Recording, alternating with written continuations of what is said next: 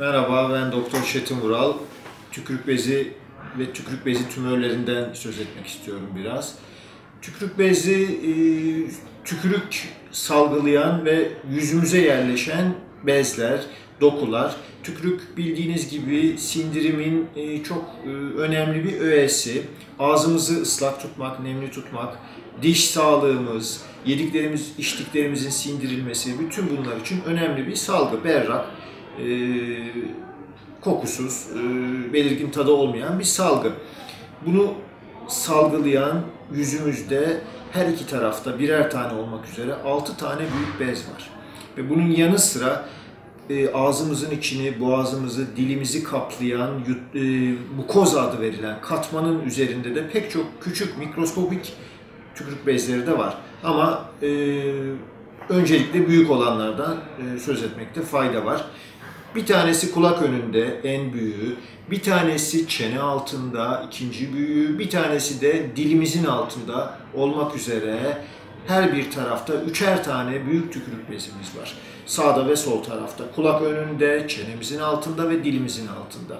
Bu tükürük bezlerinin e, sağlıklı çalışması durumunda yaptıkları iş tükürük salgılamak. Her organ gibi bunların da kimi rahatsızlıkları, hastalıkları ve tümörleri var. Tükürük bezleri iltihaplanabilir, tükürük bezlerinin içerisinde taş oluşabilir, taş tıkanıklığa yol açabilir ve tükürük bezlerinin tümörleri oluşabilir zaman içerisinde. Ee, en sık kulak önü tükürük bezinin tümörünü görüyoruz ve bunun e, neyse ki tümörleri genellikle iyi huylu tümörler. Birkaç tane e, sık gördüğümüz tümörü var ve genellikle hastaların şikayeti kulak önünde veya kulağın altında şişlik yavaş yavaş büyüyen şişlik. Sert, genellikle hareketli e, şişlik. Kimi zaman bir fındık kadar, kimi zaman bir e, ceviz kadar. Eğer hasta uzun süreler beklemişse e, kimi zaman bir mandalina büyüklüğüne ulaşan sertlikler, şişlikler, kitleler şeklinde gösteriyor kendini bu tümörler.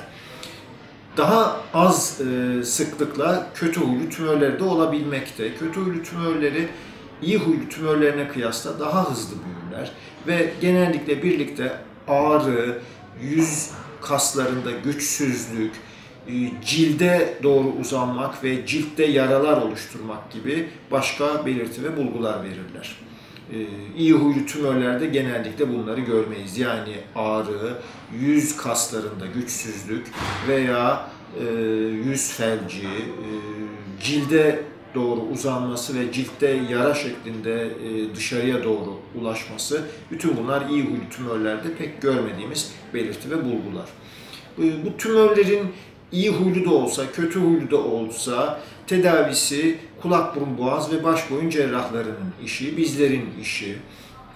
Tümörlerin öncelikle e, teşhisini kesinleştirmek için kimi yöntemlerimiz var. Muayenemizin arkasından genellikle bir görüntüleme yöntemine yani radyolojik yöntemlere başvuruyoruz.